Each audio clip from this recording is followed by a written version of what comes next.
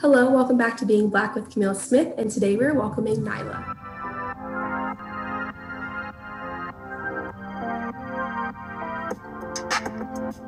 Nyla is about to complete her first year of law school at Drexel Kline School of Law. Her primary focus is to get into civil litigation and to make sure her pro bono hours are dedicated to helping underserved communities, specifically in Philadelphia.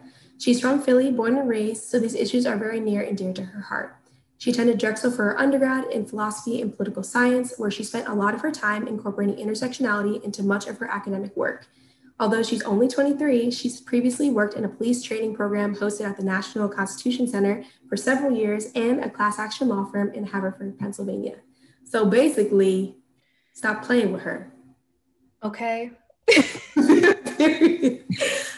I'm super excited to be talking to Nyla today because um, I've talked about it on previous episodes before, but I think this part of my podcast, I've kind of gotten to this point that now I'm talking to people that I don't necessarily know directly. And for me, that's super, super exciting. So Nyla and I connected on my uh, podcast Instagram. And if you don't follow that, it's the Being Black Pod on Instagram. Go follow. Um, and I actually asked people to send me some, you know, topics that they wanted to hear about. And she actually suggested the topic that we're going to talk about today, hair discrimination. Um, and then I was like, what if we talk? And she, you know, was like, yeah, let's do that. And here we are now. So I'm super excited to be talking with you, Nyla.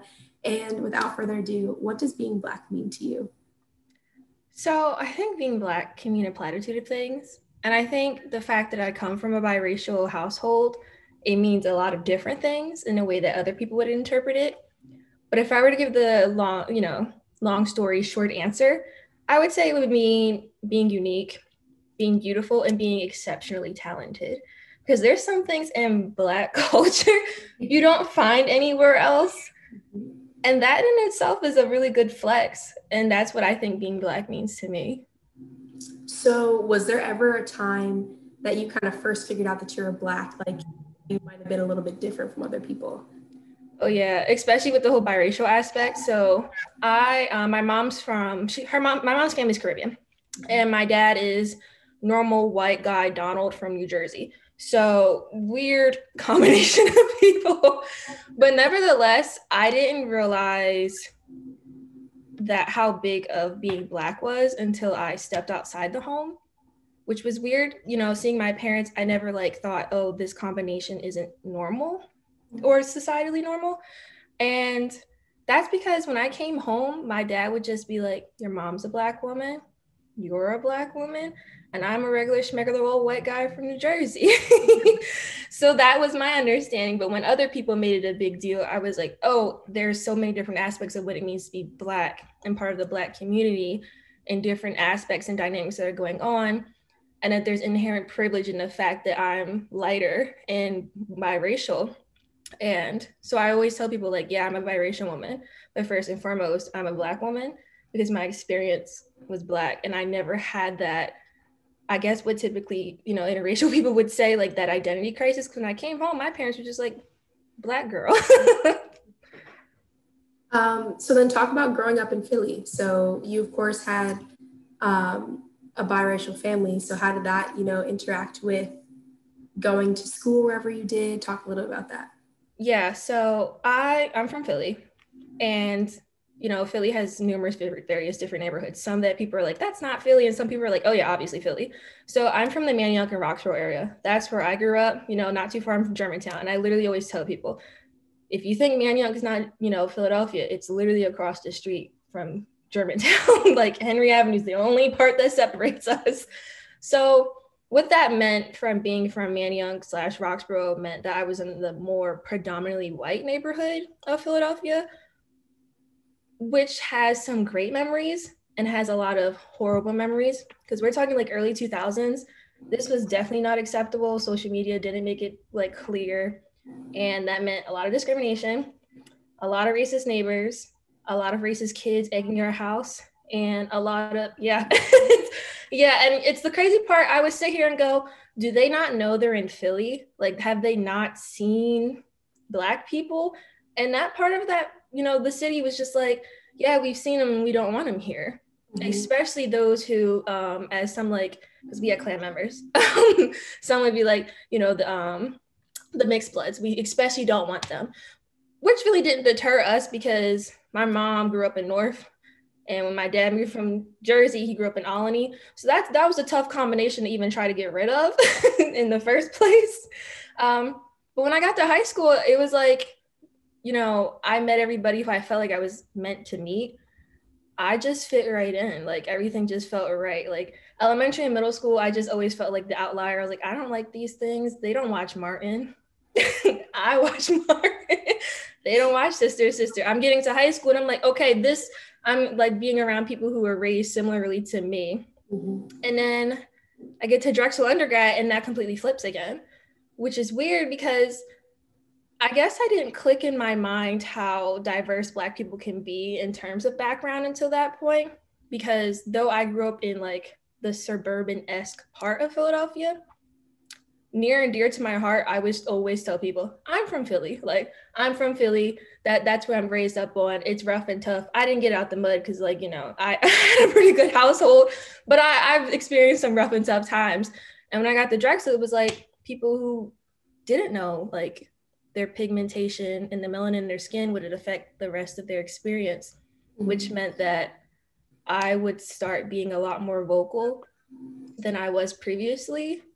Like I I was willing to pick fights with everybody because it got to a point where people were like, you're racially ambiguous.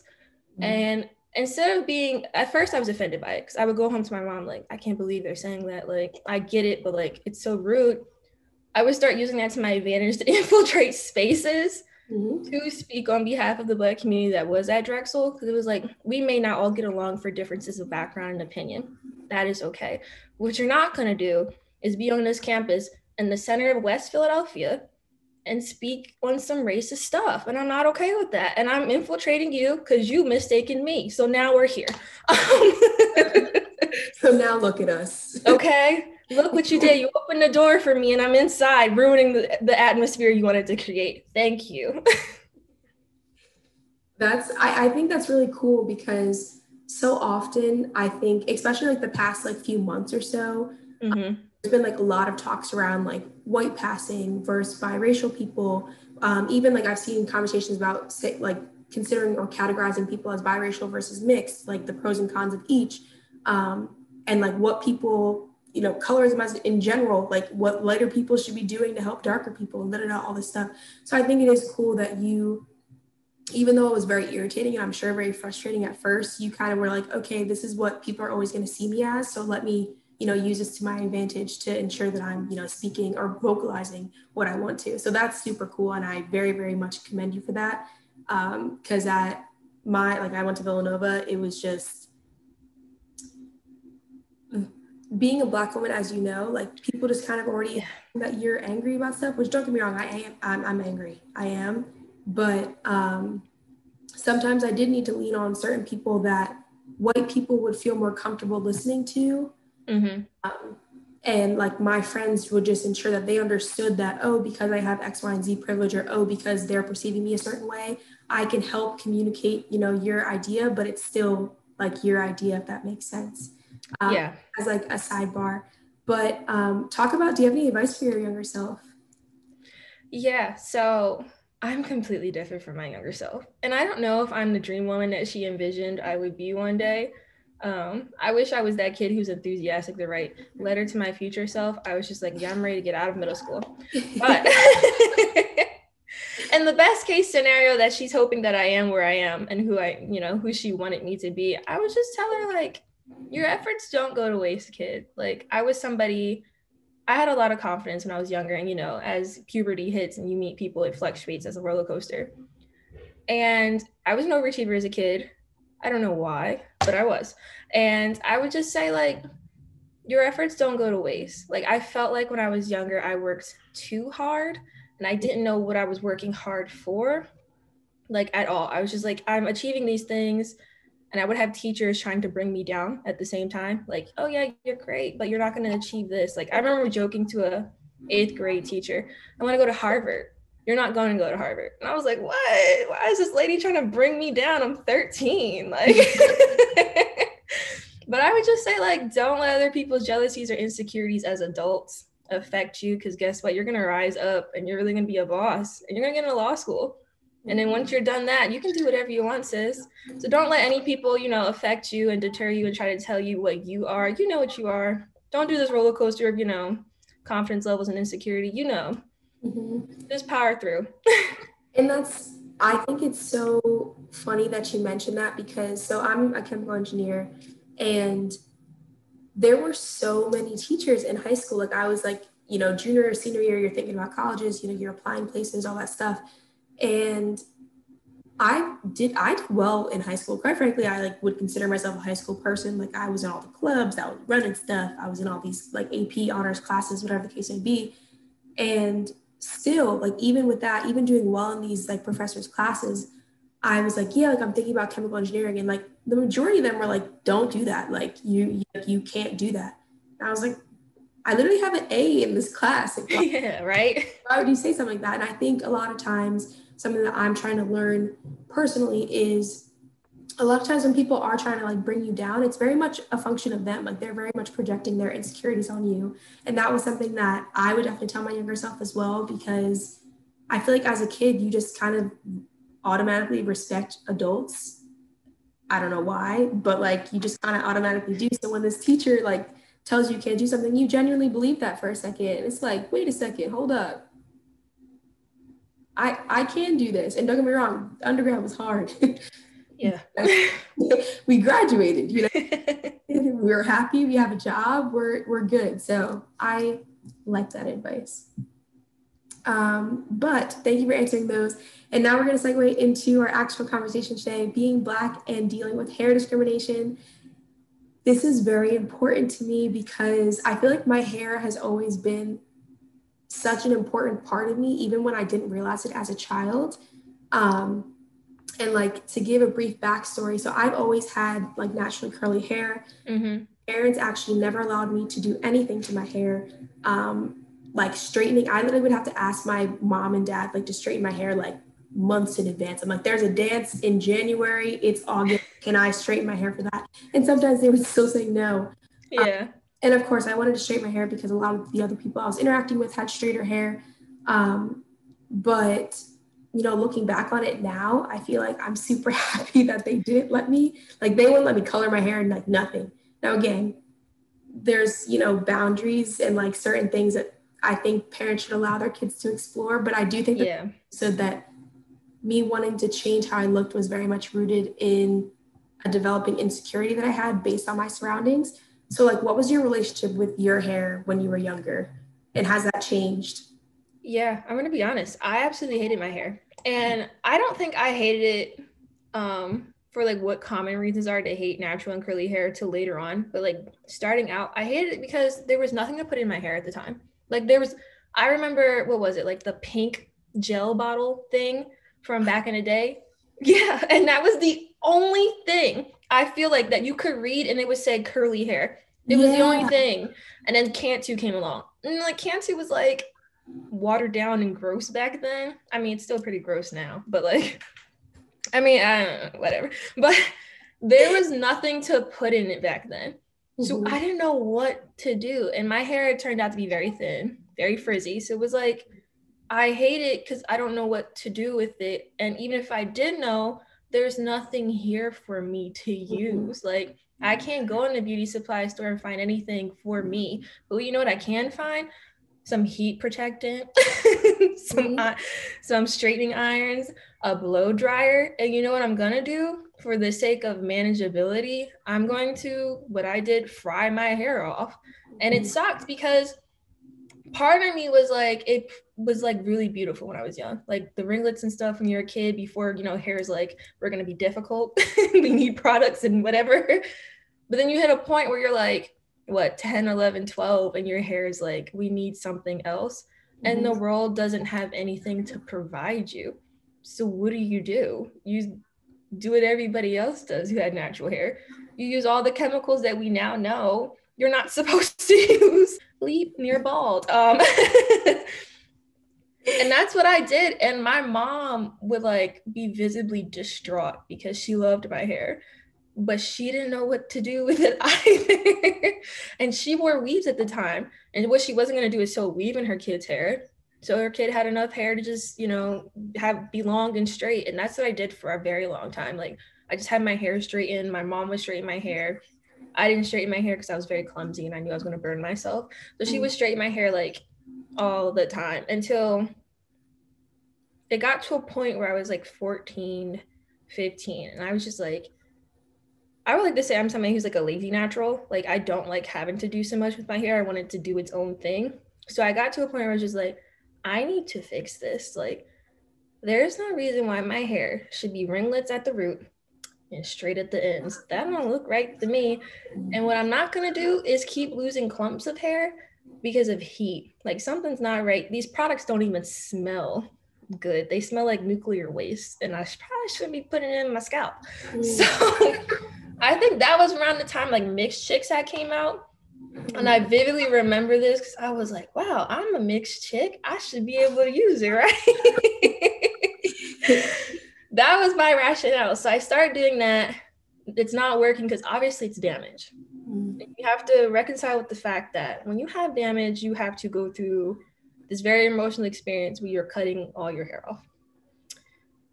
And it sucks entering high school knowing that. So I waited a year before I just gave up and had my hair cut by a local black salon in West mm-hmm. Philly who said they knew exactly how to cut curly hair. That was not the case. And somehow during this process, I came out with orange hair as well. so we are what, like an inch off of my hair at this point in orange. What do I do? I'm 15, 16, and it's like nobody else has fashion sense in high school, so maybe I can get by on this. maybe nobody's really gonna notice. Everybody notices, obviously, because it's a horrible dye job. But everybody's like, "Oh my god, you dyed your hair." I mean, that's all fun and games, but like, I don't want this like this. So I spent a lot of time researching, and I think this is when the world was really like, "Oh wait, I think Black people have natural curly hair. Like, I think they actually need things for their hair." So DevaCurl comes out. And I, I remember this timeline so well because I tell people all the time, like, this hair care journey is no joke. Like, this is like the worst. DevaCurl comes out. I'm not excited about DevaCurl. I'm excited about Deva Cuts because this is like, these people have to be licensed to cut curly hair a certain way. They don't cut it where it's wet because you can't even tell what it looks like wet. Mm-hmm. Um, you can't tell the length, you can't tell the layers. DevaCurls come out. Deva cuts come out. I'm like, great. I'm trying to find a salon. I'm trying to convince my mom because my mom's of the belief that she's not going to take her black kid to a white hair salon because a lot of DevaCurl, you know, stylists were white. My dad doesn't care. He doesn't know anything about hair. He pays ten dollars for his haircuts up the street. He, he doesn't know anything. so that that parent is useless in this whole journey. All he does is go, "Well, I think it looks great." I'm sure you do.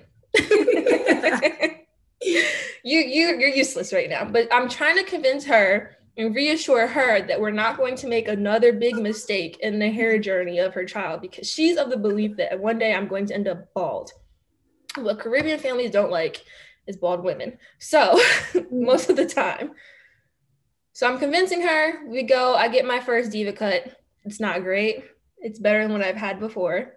Mm-hmm. But little did I know that my future stylist was in that very salon. She just wasn't cutting hair because her boss wouldn't let her even though she was far more talented in every respect, which explains a whole nother different dynamics going on there between her as a woman and him as a man owning the salon. A lot of things because once she left and started her own business, all his clients left with her. And I was like, well, why are they leaving you and going to her? And they all have amazing hair now. And mine's like pyramid, like weirdly shaped. so I go there she strips that dye out of my hair. We start over from black. And she cuts my hair, and I'm like mini fro Jheri curl ish, but I can't tell you I was, it, I was so happy at this point in my life because for the first time it was like, this looks like hair. Like this looks like something. It's doing something, and it's doing something good, and it's looking healthy. And when I run my fingers through my own hair, I'm not going ew. Like My hair felt like paper at some point in my life. And I'm like, it's not supposed to feel like this. It's not, but what can I do? There's nothing I can do with the resources that I have. And now I have this wonderful old lady named Shelly who can cut hair for like to save her life if she wants to with a blindfold. The woman cuts hair upside down sometimes because she's like she's she's very entertaining and she's a master colorist. So when I did decide to go blonde at some point, which I would not recommend unless you're going through something very heartbreaking,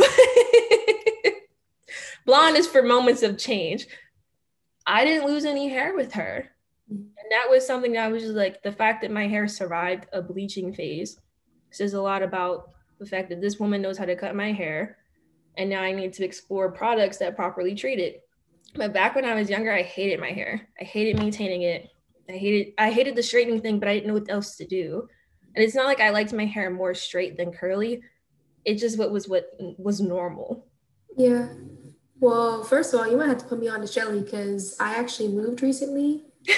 and I'm not near the woman that normally would cut my hair. Not that I like mm-hmm. have to see her, but like it'd be nice so we'll talk about that at another. Yeah, time. definitely. um, but so, how do you normally wear your hair now? Like your hair is curly now. Do you normally do like wash and goes, protective styles? What do you normally do? Yeah, normally wash and goes because my yeah. hair is so soft that like braids and stuff don't last a long time, and it mm. sucks because you pay so much for braids, and then you're like, it won't last a long time. So mm. I'll do a braid if I'm going on a trip for sure because TSA is very anti-natural hair, which I found out like last weekend. Mm-hmm. Um, that that yeah, that's a story. Hide stuff in here, like I could, but what? Come on.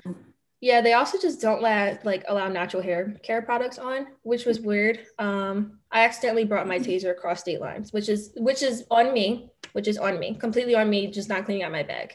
Um, but I found out legally I can bring that to an entirely different state, but I can't bring my like hair care product of like my curling custard because they couldn't tell like how to measure that, even though it's in the bottle, but then like we don't know what kind of substance this is. I'm like, come on, dude. Like you're letting me bring a taser.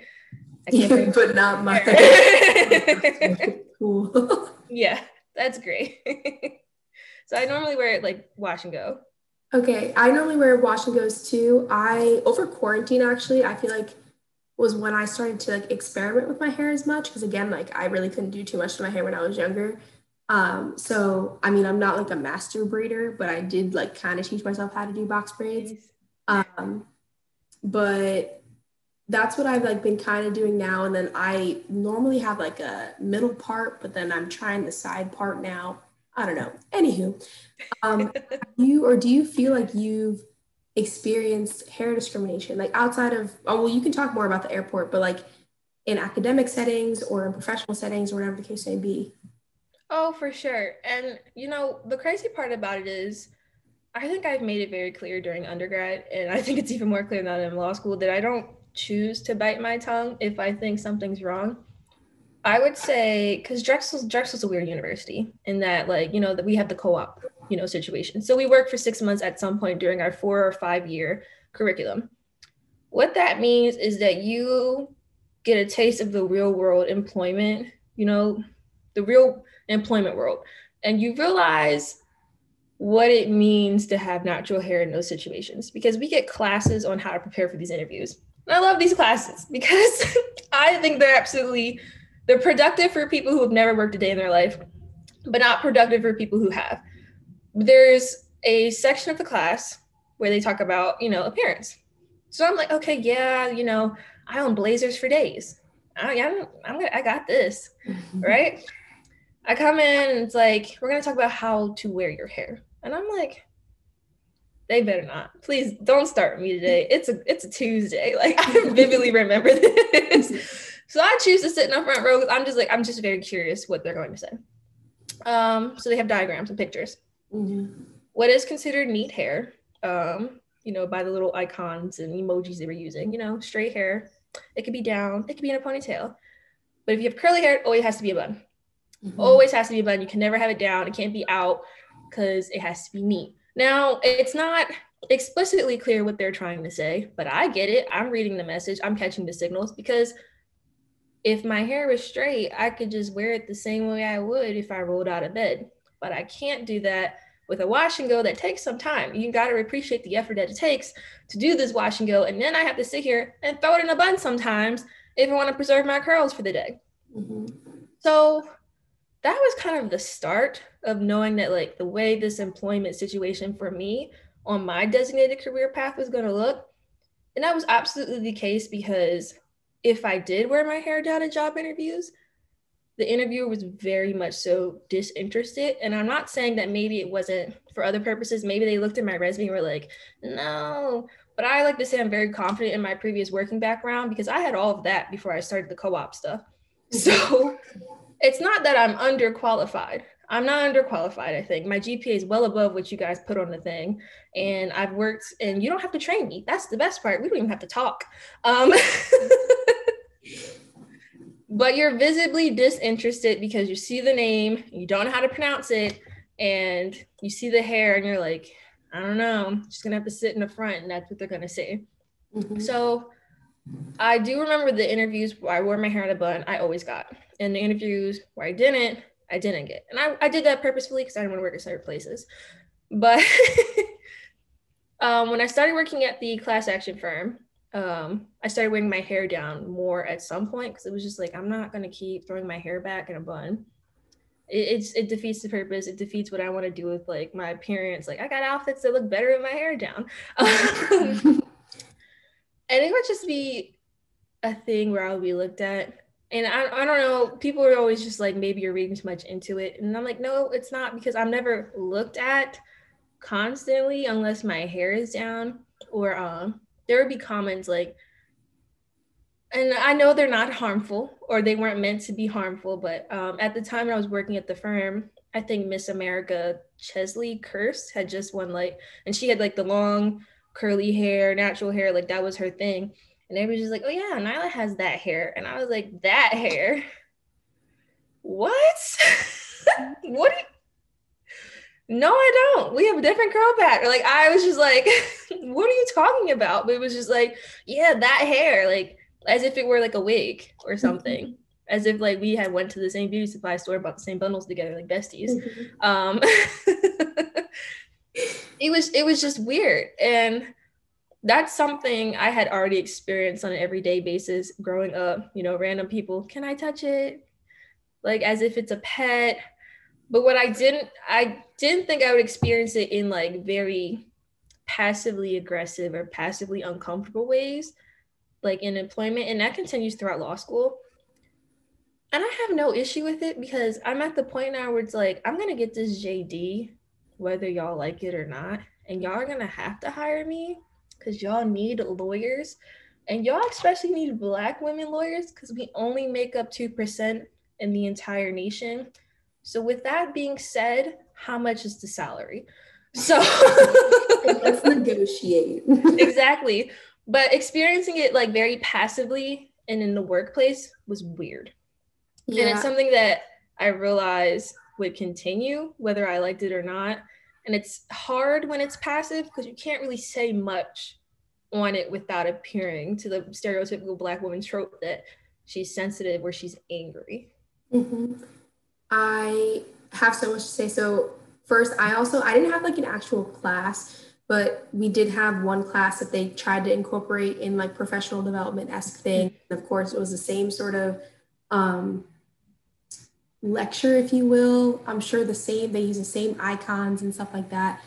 Um, but actually, I had a legitimate experience that one of my professors actually told me to my face because um, he would normally um, like look at our resumes and like he was like the person in the department to talk to about things like that. And he was like, oh, like career fairs like this week, like well, basically remember to put your hair up. And I was like,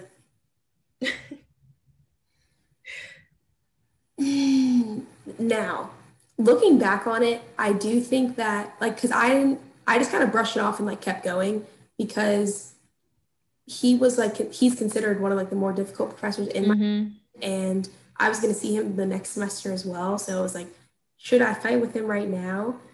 But I do distinctly remember the following semester that he was talking about something similar to like professional development. And I also wear hoops all the time. Like I think curls and hoops, they just go together personally. Um, and he was talking about my he actually brought up my hoops and was like, yeah, like those are the biggest earrings I've ever seen. And it's like, oh, it's funny because like I literally have larger ones. Yeah. casual ones that I wear. I was like, but I can wear like my larger ones like the next day. And he like got real quiet. And I was like, no, no, no, like seriously, like why me out of all the people? Because there was one other white girl in the class that was wearing hoops too. And like before I ended up leaving his classes, I was like, hey, like I understand that you might try to be, you might be trying to say these things out of, you know, positivity and like you want me to get a job, all this stuff. But like that's very harmful, especially if I didn't already know where I stand with my hair. Like that would be so harmful. And even like going to career fairs, like I wouldn't actually put my hair up just because I didn't want to give interviewers or companies a reason to turn me down because similar to you like i'm very comfortable with my resume i have a lot of work experience especially in what i'm doing um, but for this job that like i'm actually doing now like my first full-time position i had the conversation with my dad before i started and i was like honestly like if they don't feel comfortable with me having my hair out considering that's how i'm going to wear my hair literally every day that i go into lab or even if they don't feel comfortable with me wearing my hoops because i wear my hoops every day when i go into lab i don't need to be working for them and i think right. it's like kind of like a liberation step that it was like if they don't feel comfortable with me having my hair out then like I'll find somewhere like someplace else. But now it is difficult because there are other Black, you know, scientists that work with me, and it is like the always being mistook for one another. Yeah. Again, different hair patterns, different curl types.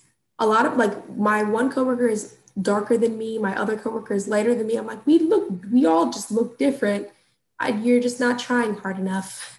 Um, so I, I think from the standpoint that I've faced actual hair discrimination, I can definitely resonate with what you've said. Like, always feeling the need to put your hair up in professional settings. If you don't, and you don't get a job, always kind of always having to like be really critical and think about it. And I don't think that it's a function of us being sensitive. Like, we observe things, but because they're microaggressions, like, we can't necessarily comfortably call them out because there's an easy way to like diverted if like someone were to be confronted about it. When it comes to hair, I feel like people feel more comfortable being passive aggressive or doing microaggressions as opposed to being like, I don't like your hair. But I will say one of my coworkers did try to touch my hair and I was like, I've never touched you at work. Never. I've never thought about putting my hand on you ever at work we are literally two scientists. I was like, I'm an engineer, she's a scientist. And that's not like a hierarchy type thing, but mm-hmm. like you're both women in STEM. There's no reason for you to be trying to touch my hair. You I literally the other day was like, oh my gosh, like your hair looks so nice. I wasn't like, yeah, let me touch it. No, no, no, no. Your hair looks nice. There, even if I wanted to touch it, there would literally be never, there would never be a scenario in a, a professional setting that I would ever ask to touch someone's hair. No. Even if they were like, no, touch it, I'd be like, I believe you. I believe that it's soft. Um, and from that standpoint, I felt very, I walked away from it feeling like much more comfortable that I was like, because in high school, middle school, like I let people do that to me and I would just be so upset and irritated. like, am I being sensitive? No, like I'm not a pet. I'm, this is not a petting zoo. Yeah. You touching it's making it frizzy. This wash and go took a long time or these braids or like you asking me whether or not it's my hair or not. Who cares? Who cares? Truly. You didn't Because if it. I bought the bundles, it's mine. okay. You don't have to worry about it. You didn't buy it. So Exactly. Unless you're buying it for me, leave it alone. Mind your business. And even then, a gift after you give the gift, it's not even your business. so I don't know. I, I think as a curly haired person, um, like going through life has just been very like weird, if you will. Mm-hmm. Like middle school is always just going to be weird, just in general, because kids are mean.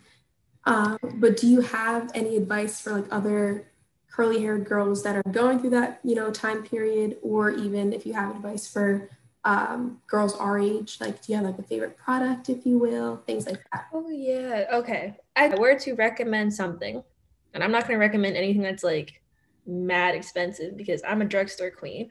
if it's not there, I don't want it. I like Aunt Jackie's.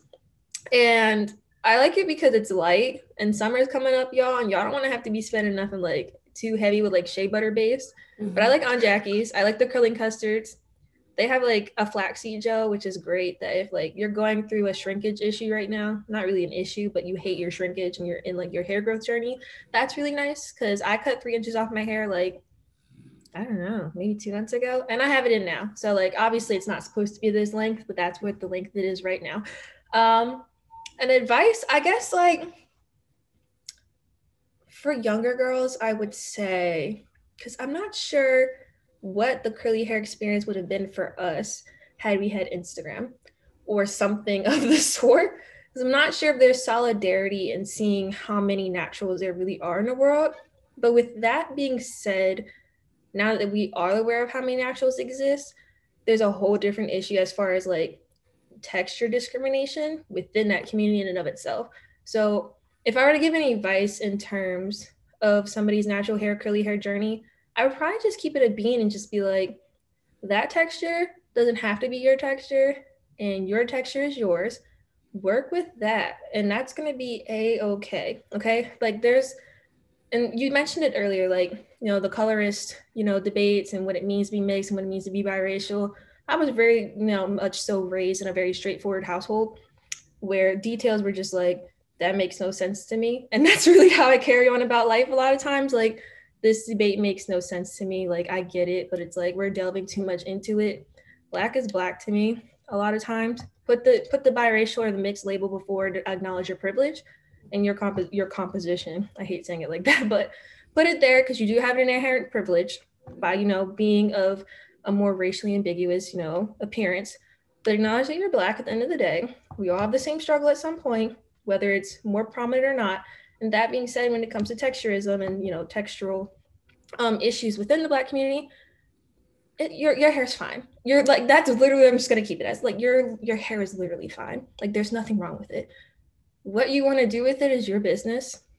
Keep it healthy. Healthy hair is happy hair, and that's all I would say. Like I don't think there's a push for or there should be a need to have longer hair because people think longer hair is more attractive. At some point, people loved pixie cuts. Okay, it's gonna change. Instagram's not Instagram's not going to determine your life, despite what people may think. And if you feel as though that you are feeling inadequate based on your hair or your hair texture, you need to log off and just focus on you. Like there's really no reason to let everybody like determine what they think is attractive. Worry about you. Okay, because all you have at the end of the day is really this hair sometimes and your skin. I say that about that too. Like all you have is your hair and your skin. So take care of them do what works for you, not what other people determined is attractive to them. You're not here to please them. You live one life, okay? You're going to leave it alone. This is sad, but you're going to leave this life alone. So you might as well live it for yourself as much as possible. Appearance wise, you know, value wise, and, you know, goal wise. That's on you.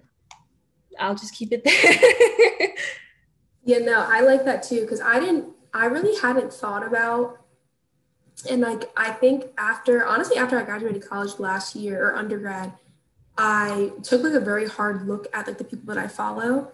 Mm-hmm. And I don't follow a lot of people. If you're watching this and I followed you, it's most likely not beef. It's just more like I wanted to follow people that look like me and like that I enjoyed, you know, seeing their content on a regular basis. Um, and I really don't know how seeing so many naturally curly hair yeah. hair people or just influencers in general would have affected me as a, a kid because I really didn't. My older sister normally wears her hair straight. My mom and my dad both have short hair, so like I was really the only person in my immediate family that like wore their hair out. Um, so that's actually very interesting. But I couldn't agree more. Just like accept what you have because it's not going to change. Yeah. Um, ask for help. You can reach out to us if you need product recs. I'm always trying new products. It's a problem because I keep buying hair products, but um, yeah.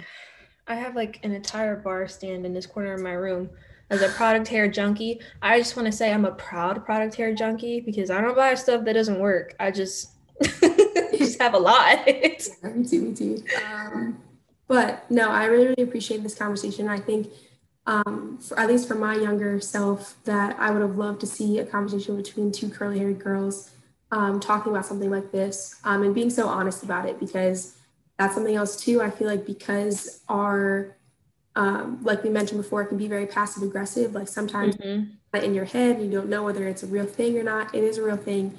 It shouldn't be happening. We should all feel comfortable with our natural hair in any space we find ourselves in, especially professional spaces. Um, but I'm gonna wrap it up. Do you have anything else that you want the audience to know? Um, there's nothing in particular, but if you do need law school help, you know, I know the pandemic is really like prevalent and real, and I already know that JD and like law school help and resources are already very slim. My DMs are always open for anybody who really needs law school admissions help. There are ways to finesse. You do not have to pay a thing, y'all. You really don't have to. they don't tell you that, but as somebody who's a very straightforward person was like, I need money and I don't care. Um, my DMs are always open to those. And if you like have curly hair questions, I will literally procrastinate everything to answer those. So feel free. Awesome. Okay, so I'll put um, Nyla's Instagram in here. Um, again, thank you so, so much for taking the time to talk with me today. And for those watching, please be back next week for another Being Black episode. Bye.